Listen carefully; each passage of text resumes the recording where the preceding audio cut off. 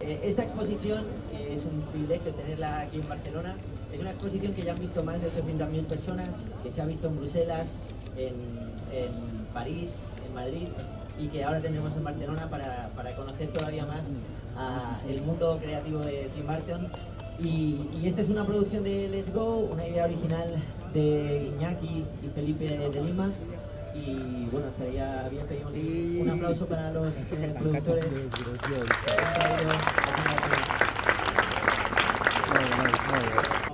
Y que hoy también comparte con nosotros. Muchas gracias a todos y que lo disfrutéis mucho.